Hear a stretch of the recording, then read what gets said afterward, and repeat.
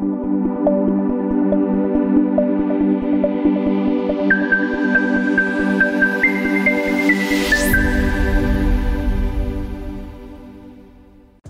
et bienvenue dans Fashion and Style, l'émission qui allie lifestyle et mode. On y parle news, musique, events, personnalités, en tout cas tout ce qui vous fait kiffer et qui a un rapport avec la mode. C'est parti. On commence par les news. Vous avez déjà entendu parler sûrement de Beyoncé. La Queen Beyoncé est de retour sur scène avec Renaissance Tour.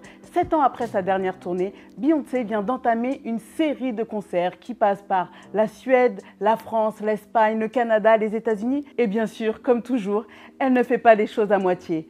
Un show, une scénographie fantastique et des tenues, des tenues. Les spectateurs ont pu la voir en Courage, par exemple, en Trompe-l'œil le Willy ou encore en Alexander McQueen. Je pense que rien que pour son show et ses tenues, ça vaut le coup d'aller la voir à un de ses concerts. D'ailleurs, Beyoncé, à quand un concert en Afrique? Depuis le mois d'avril, une nouvelle collection capsule a vu le jour entre la marque du groupe H&M and Other Stories et Sindizo Kumalo. Hum, c'est une marque éponyme de la créatrice sud-africaine. Cette dernière fait son petit bout de chemin depuis la création de sa marque en 2015. Elle a notamment remporté le prix GCFA du meilleur designer indépendant et a été coloréate du prix LVMH en 2020. Ses créations et sa manière de compter l'Afrique intéressent.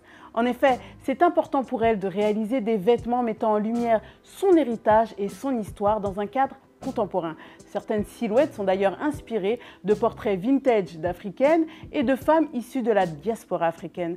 Cela donne une garde-robe estivale très facile à porter. Du coton biologique, recyclé, du lin, il était essentiel pour la créatrice d'utiliser des matières éco-responsables et durables. C'est un peu sa marque de fabrique d'ailleurs. Allez voir, allez vous renseigner et puis pourquoi pas choper un modèle. Passons au focus de la semaine avec Dominique, plus connu sous le nom de Pomelo Kiwi sur les réseaux sociaux et notamment sur Instagram. Si vous cherchez des inspirations mode tendance, c'est par là qu'il faut aller. Dominique poste régulièrement ses styles, ses achats, ses outfits of the day et quand on voit ça, on a juste envie de plonger dans son dressing. On a par exemple des idées de différentes façons de porter une jupe en jean, comment s'habiller pour aller en date ou encore euh, porter un pantalon et trois looks. Euh, bon, vraiment, c'est une mine d'or, allez la voir. Et ce qui est sympa, c'est que les vêtements qu'elle propose sont vraiment à des prix accessibles à tous. Et puis, on aime le fait qu'elle montre son corps, qu'elle assume ses formes. Elle est plus size et alors, yes, go ma belle.